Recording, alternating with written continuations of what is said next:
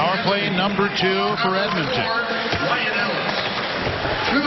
Yakupov at one point. The other one right here is Whitney.